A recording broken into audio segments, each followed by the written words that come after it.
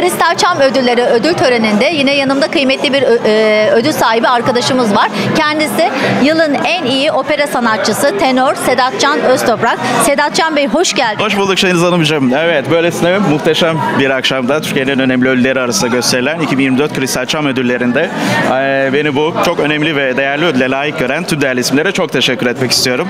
Gerçekten rüya gibi güzel muhteşem bir yıl daha oldu benim için 2024 yılı. Bu yıl yine uluslararası platformda İspanya'da yapmış olduğum başrol temsillerim, konserlerim, restallerim, elde etmiş olduğum uluslararası yarışma birinciliklerim ve yine uluslararası platformdan Amerika'dan, Almanya'dan, İspanya'dan, İngiltere'den, Avustralya'dan ve daha pek çok dünya ülkelerinden layık görülmüş olduğum uluslararası ödüllerim olsun ve dünyanın en önemli opera sanat şehirlerinden olan Berlin'de yapmış olduğum başrol temsillerim ve konserlerim olsun. Gerçekten muhteşem bir yıl daha oldu benim için 2024 yılı.